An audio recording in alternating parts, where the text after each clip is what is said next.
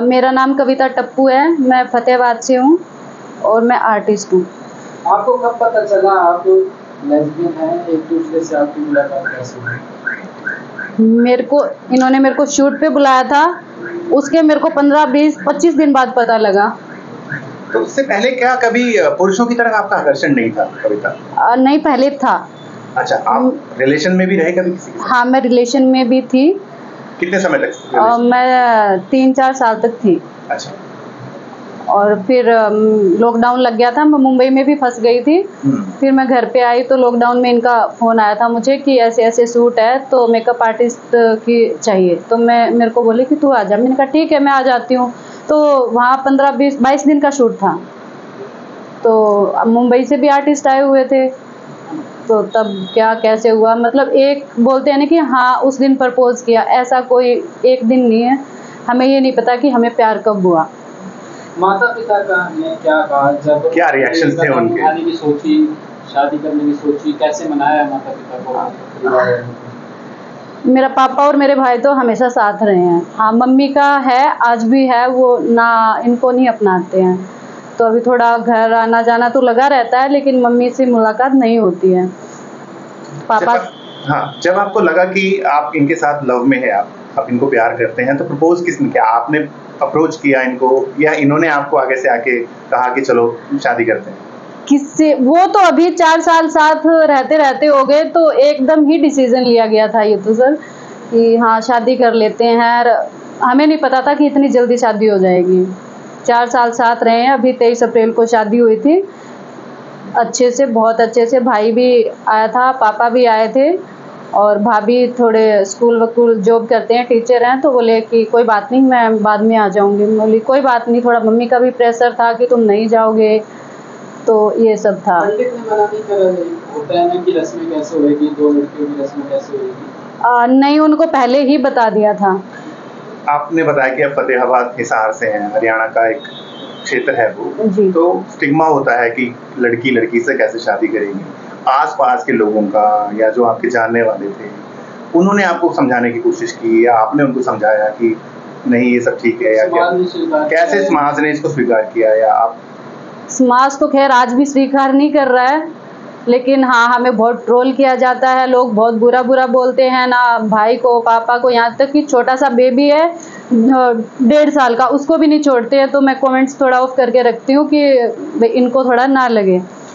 तो बहुत पब्लिक तो मतलब ये मानो कि फिफ्टी सिक्सटी परसेंट हमें बहुत बुरा बोलती है, बहुत ट्रोल करते हैं हमें लोग। तो मैं ये कमेंट पे जाती हूँ तो थोड़ी देर के लिए होता है, थोड़ा दिल दुखता है, फिर मैं चल जानने देना, क्या कोई बात नहीं, कोई समाज खाने को थोड़ी दे रहा है। कमाना तो हमें ही है हमें ही खाना है। बहुत सारी लड़कियाँ या लड़के ऐसे हैं जो इस रिलेशन में हैं लेकिन वो सामने नहीं आ पाते समाज की तरफ़ से। उन लोगों को क्या कहना चाहेंगे? सर मैं जब स्टार्टिंग में पहले मुझे ये नहीं पता था कि फेसबुक पे पैसे कमाते हैं या कुछ। तो बहुत सारी लड़कियों को जब इनके साथ रिलेशन में आई ना ये मानो कि सर फोर्टी परसेंट लड़कियाँ हमें मैसेज करती हैं मैम हम भी आपकी तरह कपल हैं। हम्म, हाँ, तो हम क्या करें कैसे करें? एक तो कपल है उन्होंने शादी करी हुई है बेबी भी अडॉप्ट किया हुआ है। तो मतलब बहुत सारे ऐसे कपल होते हैं कि हम क्या करें? हम, हम आप हमारी शादी में आओगे? मैंने कहा आप बुलाइए कि आप हमारी शादी करवा दीजिए घर वाले नहीं मान रहे हैं। तो मतलब बहुत सारे ऐसे कपल हैं जो सामने नहीं आ पा रहे हैं। कभी आपके साथ कोई अजीब सा वाक्य हुआ हो? आप दोनों एक साथ जा रहे हो? कभी किसी ने कुछ कमेंट पास किया हो? नहीं सब फ़ोटो खिंचाते हैं बाहर तो। बेस हाँ। बेशक वैसे कमेंट गलत कर दें लेकिन सामने से फ़ोटो खिंचा के ही जाते हैं। कविता हर लड़की का सपना होता है माँ बनने का। आपने इस विषय पे क्या कुछ सोचा? अ, सर ये हमारी पहले से ही बातें होती हैं हम कैसे करेंगे ऐसे करेंगे। तो हमने दोनों ने यही डिसीज़न लिया कि हम अनाथ आश्रम से अडोप्ट करेंगे। कितनी उम्र है आपकी अभी? अ, मेरी थर्टी टू हाँ मेरा नाम अंजू शर्मा है और मैं अपने हरियाणा से बिलोंग करती हूँ, गुड़गांव से। मेरा मकान कृष्णा कॉलोनी में है तो मैं यहाँ रहती हूँ। वैसे मैं मुंबई भी रहती हूँ और वहाँ मैं टीवी सीरियल वगैरह में काम करती हूँ। मुंबई में कौन कौन है मुंबई में आप क्या काम करते हैं? और इस प्रोफेशन के बारे में बताइए। मैं टीवी सीरियल में काम करती हूँ जैसे नागिन सिक्स में किया है मैडम सर में किया है परिणीति में किया काफ़ी टीवी सीरियल में मैंने काम किया है और अभी कर भी रही हूँ साथ के साथ। तो वहाँ पे मेरा और फेसबुक और इंस्टा वगैरह सब जगह आप मुझे देख सकते हो हर जगह मैं हूँ। घर में कौन कौन है आपके? मेरे घर में सिर्फ़ अब मेरी सिस्टर है हम्म, और मम्मी और पापा एक्सपायर हो चुके हैं तो कोई और नहीं है। वो भी सिस्टर शादीशुदा अपने घर पे हैं। अंजू जी आपने एक फीमेल से शादी की। जी। कैसे अट्रैक्शन हुआ? कब मुलाकात हुई? कब आपको लगा कि आप इनके साथ आपको शादी करनी चाहिए? थोड़ा सा इसके बारे में तफसील से बताइए। ये मैंने जो मेरा एक यूट्यूब चैनल है तो मैं बता ना यूट्यूबर हूँ तो मेरा उस पर मैंने शूट किया था 2020 में अगस्त में। अपने मैंने तो इसको बुलाया था कविता को एज ए मेकअप आर्टिस्ट जब ये आई, काफ़ी लोग आए थे, मुंबई से भी आए थे, कोई डायरेक्टर कोई आर्टिस्ट बहुत सारे आए थे, और यहाँ आसपास से आए थे। तो इसका साथ में रहना, काम करना, इसका बिहेव इतना अच्छा था, व्यवहार इतना अच्छा इसका, कि हर किसी को अट्रैक्ट कर लेती है अपनी तरफ़। मिलते मिलते हम दोनों इतने मिल गए कि मैं इसको छोड़ने के, इसके घर ही वापस आ गई। तो उससे हम दोनों का इतना लगाव हो गया, इतना ज़्यादा कि एक दूसरे के बिना हम रह नहीं सकते थे। और धीरे धीरे बाहर भी गए, जैसे मुंबई, ये भी मेरे साथ चली गई। मुंबई रहे, वहाँ भी इसने मेरी इतनी केयर करी कि मेरे दुख में, सबसे ज़्यादा कहते ना कि सुख में तो हर कोई साथ होता है बट जो दुख में साथ होता है ना, वो अपना होता है। तो जहाँ मेरे दुख में, मेरे अपनों ने साथ छोड़ दिया था, मेरे भाइयों ने और सब लोगों ने साथ छोड़ दिया था तो वहाँ पे ये खड़ी हुई थी। इसी अगर हकीकत बोलूँ तो आज मैं ज़िंदा हूँ तो इसी की बदौलत हूँ, क्योंकि जब मैं टूट गई थी, जब मेरा भांजा गया मेरी माँ गई तो कहते संसार में जिसके दो ही हों और वही दूर चले जाएँगे तो किसके लिए जिएगा? तो इसने मेरे को एक दूसरी ज़िंदगी दी है। और इतना प्यार हो गया, इतना प्यार हो गया मुझे इससे। और ये मेरे से ज़्यादा मेरे को प्यार करती है। हकीकत तो ये है बहुत ज़्यादा प्यार करती है। मेरे बिना रह नहीं सकती। अगर भगवान अगर कोई मेरे को इतनी सी खरोंच पहुंचाएगा ना तो ये उसको छोड़ेगी। हकीकत ये है। तो बहुत प्यार करती है। अंजू जी शादी कब हुई आपकी दोनों की? हमारी 23 अप्रैल को हुई है 2024 में। और गुड़गांव में ही शादी हुई है। और पूरे रीति रिवाज से शादी हुई हमारी इतने रीति रिवाज से, जैसे एक लड़का लड़की की शादी होती ना सेम वही। कंजर्वेटिव समाज में हम लोग रहते हैं जी, जी। सोसाइटी में। इस चीज़ को स्टिग्मा समझा जाता है जी। समलैंगिक संबंधों को। जी जी जी। परिवार का कैसा रिएक्शन था? देखिए मैंने बताया मेरे मम्मी पापा तो है नहीं और मेरे बहन और जो है मेरे जीजाजी मेरे जीजाजी नहीं आए उन्होंने साफ़ मना कर दिया था कि मैं शादी में नहीं आऊँगा। मैंने कहा कोई बात नहीं नहीं आओगे तो देखो शादी तो होनी है क्योंकि हम दोनों ने डिसीज़न ले लिया था शादी करेंगे हमारे कार्ड भी छप चुके थे ढोल बाजा सब कुछ हो चुका था हमारा। धर्मशाला भी मैंने बुक कर दी थी, पंडित भी मैंने बुक कर दिया था। सभी चीज़ें जैसे कर चुके तो हम पीछे तो हम नहीं हट सकते। ठीक है, जिन्हें हमसे प्यार है, वो आए। और जिनको हमसे प्यार नहीं है तो हम उनसे उम्मीद भी क्या करेंगे?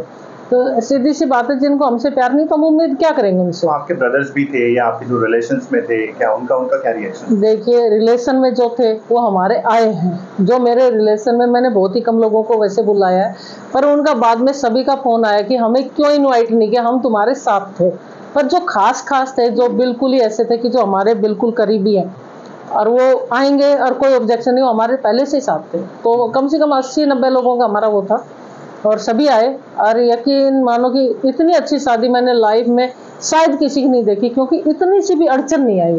खाटू श्याम जी की कृपा से सब बढ़िया रहा। जी आप एक फीमेल हैं। आपको हम्म। कभी किसी पुरुष की तरफ़ कुछ आकर्षण महसूस नहीं हुआ कभी? या आपको शुरू से ही लड़कियाँ अच्छी लगती नहीं नहीं नहीं ऐसा नहीं है। होता है कि नहीं अब नहीं होता।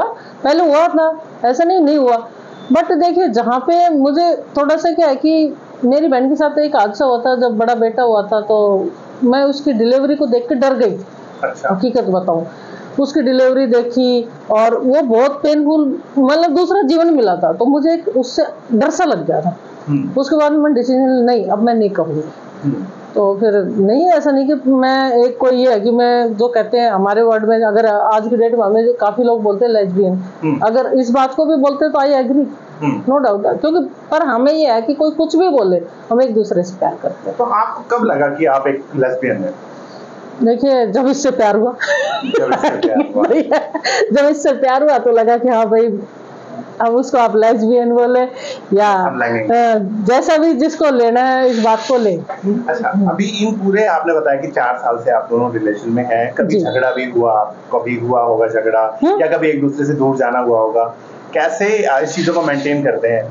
देखिए झगड़ा हमारा हुआ तो इतने हद से पार हुआ। ये देखिए झगड़ा नहीं होता। अरे प्यार जहाँ होता है वहाँ झगड़ा भी होता है। जेन्युइन बात है जहाँ पे प्यार होगा वहीं झगड़ा होगा। नहीं कहते ना हम दीवारों के सर नहीं मार सकते। जब परिवार होता है तो घर बनता है। नहीं है कि दीवारों से घर बनता। मैं ये सोचती हूँ। तो हमारा झगड़ा भी खूब हुआ। ऐसा नहीं कि नहीं हुआ पर हुआ। तुरंत हम मान भी जाते हैं आधा घंटा पौन घंटे में या तो ये मेरे को मनाने आ जाती है मैं चली जाती हूँ। एक दूसरे को राज़ी कर लेते हैं। और रही बात हम चार साल में, दो ही बार सिर्फ़ अलग हुए हैं। एक बार ये मजबूरी में आई थी, मेरा काम था गुड़गांव, मैंने भेजा था, और दूसरी बार मैं आई थी। सिर्फ़ दो दो, तीन तीन, चार दिन के लिए हम अलग हुए बाकी हमारी हिम्मत ही नहीं कि हम एक दूसरे के बिना रह सके। सूट में भी ये मेरे साथ ही जाती है। अगर जैसे मुंबई मेरा टीवी सीरियल का सूट होता है तो ये मेरे साथ ही जाती, वहाँ मैं परमिशन ले लेती जी मेरे साथ। उस वक्त ये फ्रेंड बोलती थी आज सब जानते मेरी घरवाली है मेरी वाइफ है तो ये चीज़ है। तो जब शादी होती है तो कपल होते हैं। जी। एक मेल होता है एक फीमेल होता है। तो। आप इस रिश्ते में मेल का कैरेक्टर प्ले करते हैं? जी हाँ मैं मेल का मेरा। तो लड़का और लड़की का सपना होता है कि कहीं ना कहीं उनके बेबी हो बच्चा हो तो उसको क्या कुछ प्लानिंग है उसको लेकर कभी सोचा इसके बारे में। जी बिल्कुल प्लानिंग है और जैसे कि कहते हैं कि लड़का और लड़की जो होते हैं उनकी शादी होती है तो उनका तो भगवान का ये कहते हैं वरदान होता है। तो हम लोगों ने उस वरदान को या तो अडोप्ट करेंगे अनाथ आश्रम से या फिर आजकल वैज्ञानिक कहते हैं ना विज्ञान ने बहुत सारी तरक्की कर ली है तो वो भी पॉसिबल है। तो ज़्यादा कर तो हमारा यही है कि हम बच्चा अडोप्ट करें। ना अंजू जी आप सोशल मीडिया पे भी हैं आपने बताया कि आप यूट्यूब इन्फ्लुएंसर हैं। जी। तो लोग ट्रोल भी करते होंगे आपको? बिल्कुल और इतना करते हैं कि मैं क्या बताऊँ हमें जो कमेंट करते हैं ना इतने गंदे गंदे कमेंट हमें तो छोड़ो। जैसे हमारे भाई इसका भाई शादी में आया उसने सारी रस्म निभाई तो क्या वर्डिंग थी आप हैरान हो जाए कहते हैं इसका भाई भी ऐसे ही होगा किसी लड़के से शादी कर ले। हम एक्चुअली क्योंकि हम बताए ना हम इस पे फेसबुक वगैरह पर रिटर्न हम जवाब नहीं दे सकते। तो उस चक्कर में हमने उनसे एक ही चीज़ कहा, भाई, तुम्हारे भी भाई, हमारे भाई ने हमें सपोर्ट किया तो फादर को भी नहीं छोड़ रहे, हमारे परिवार को किसी को नहीं छोड़ रहे हमें तो इतने गंदे गंदे कमेंट कर रहे हैं। बहुत गंदे। मतलब कई बार तो पढ़ते हैं ना उनको ऐसा लगता है कि सामने जाके फेस टू फेस बात करें। तुम्हें क्या प्रॉब्लम है जब हम खुश हैं मतलब तो मैं उनसे यही कहना चाहूँगी कि आप किसी को इस तरीके से परेशान ना करें, टोल ना करें, क्योंकि हर किसी की अपनी लाइफ होती है और हर किसी को अपनी ज़िंदगी जीने का हक होता है। हमने किसी के साथ गलत नहीं किया और इसके साथ एक चीज़ और बोलूँगी कि हमारी जैसी कपल बहुत सारी लड़कियाँ हैं जो सामने नहीं आ पा रही हैं। और वो हमसे यही क्वेश्चन करती दीदी, हम अपने परिवार को कैसे मनाएँ? कैसे उनको राज़ी करें? कैसे हम शादी करें? एक दूसरे से बहुत प्यार करते इस तरीके की मतलब उन लोगों की वो है। तो मैं उनको यही बोलूँगी, आप अपने परिवार को मनाओ, थोड़ा वेट करो और इंतज़ार करोगे तो कहते हैं ना, सबर का फल मीठा होता है। और भाई, आप लोग अगर सच्चा प्यार है तो एक ना दिन शादी हो जाएगी। पक्की बात ही है।